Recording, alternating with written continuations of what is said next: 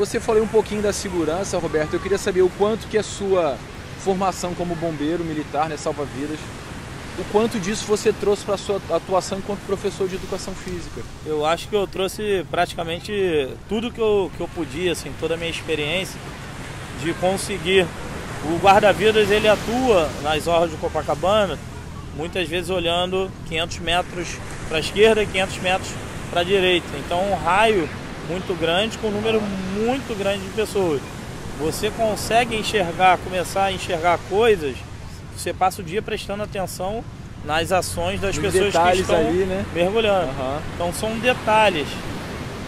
E você sabe, com tudo que acontece na praia, com o número de incidentes, com o número de afogamentos, morrem de 20 a 22 pessoas por dia no Brasil afogadas. Por ano são milhares de afogamentos. É o, é o segundo maior caso assim de morte de infantil, é o afogamento.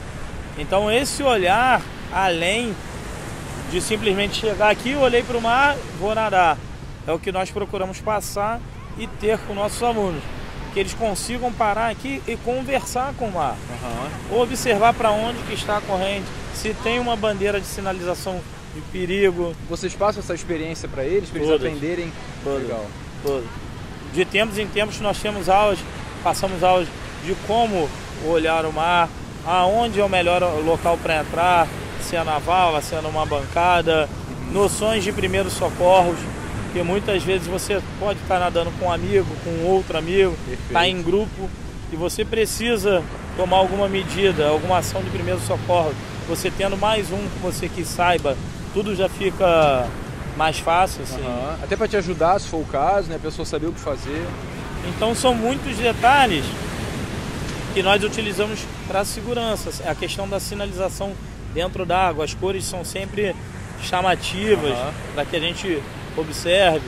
A segurança, ela forma, os alunos podem muitas vezes não perceber, mas eles, a segurança forma um cinturão em volta dela, de modo a proteger para que ninguém saia para a esquerda ou para a direita. Quando a gente chegou, a gente perguntou, pô, cadê o Roberto? O Roberto tá lá com a blusa preta e tem dois com blusa azul, é, agrupando, uhum. né, cercando as pessoas, isso mesmo, para elas não se separarem demais.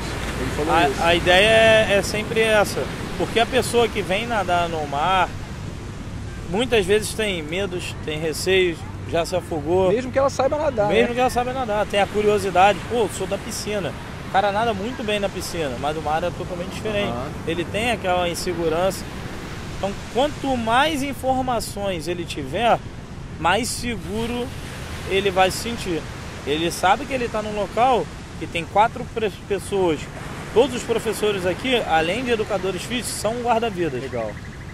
Então, necessariamente para trabalhar na equipe 15, nós procuramos trazer guarda-vidas para trabalhar Pô, interessante. junto com a gente. Porque eu sou guarda-vidas, os outros professores são, e acabou se criando é, esse meio que padrão ali de nós sermos educadores físicos e guarda-vidas. Eu, eu, já acho que complementa Sim. muito e auxilia no trabalho. E as pessoas saberem disso realmente torna a aula mais segura, mais segura. as pessoas se sentem mais seguras.